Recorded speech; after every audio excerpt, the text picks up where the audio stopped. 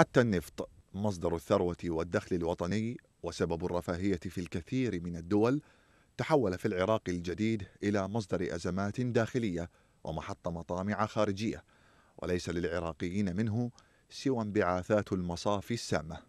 تتصاعد الاتهامات في ملف النفط العراقي حتى تبلغ منتهاها بالحديث عن وصول كميات من النفط المستخرج من كردستان إلى الكيان الصهيوني. إذ تستخرج حكومة كردستان العراق النفط خارج إشراف الحكومة في بغداد منذ عام 2012 وحتى الآن.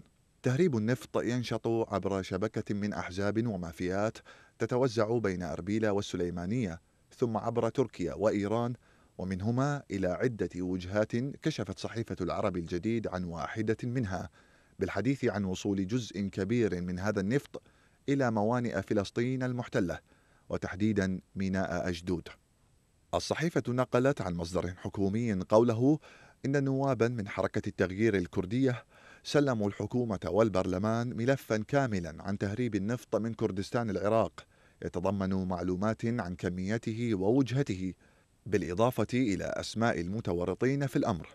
ويثبت الملف أن النفط المستخرج من كردستان يصل إلى نحو 300 ألف برميل يوميا تنتهي غالبها في مينائي مرسين وجيهان التركيين.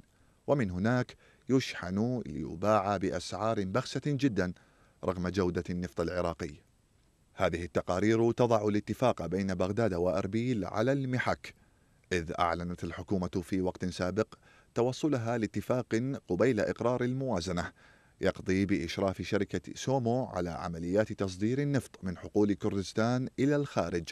مقابل تمرير رواتب البيشمركة إلا أن أربيل لم تسلم الملف إلى بغداد. كذلك الأخيرة لم ترسل المخصصات المالية للبيشمركة. النائب عن تيار الحكمة علي البديري قال إن جزءا من نفط كردستان المهرب يستقر في الموانئ الفلسطينية المحتلة ويصدر لجهات أخرى مطالبا الجهات المعنية بالتحرك تجاه هذا الملف.